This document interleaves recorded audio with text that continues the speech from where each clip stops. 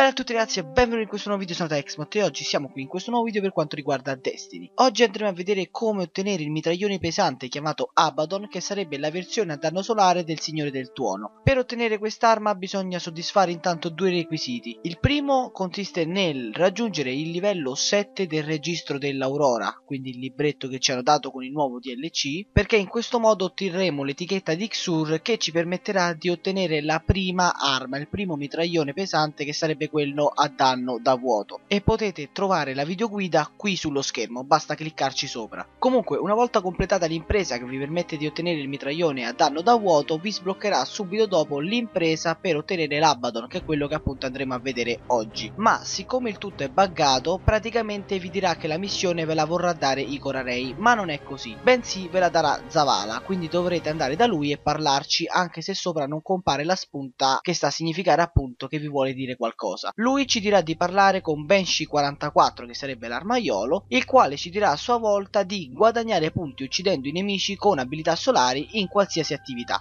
Quindi per fare ciò intanto equipaggiamo la nostra sottoclasse solare, dopodiché per fare uccisioni in modo rapido vi consiglio di fare la missione sulla luna chiamata l'oscurità oltre. Una volta arrivati a questo punto della missione dovrete guardare un video, ma potete tranquillamente skipparlo.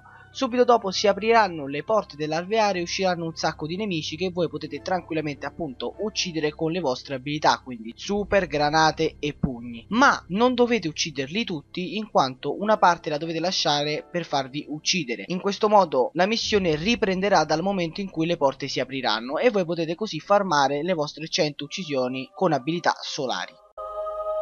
Una volta effettuate le 100 uccisioni dovrete semplicemente ritornare da Banshee 44 alla torre, il quale ci dirà di completare l'assalto i fratelli di sangue. Quindi facciamo come ci dice, andiamo sull'astro corazzata e selezioniamo l'assalto i fratelli di sangue, ma ricordatelo di mettere a luce 320, quindi in modalità normale, altrimenti l'impresa non verrà considerata completata.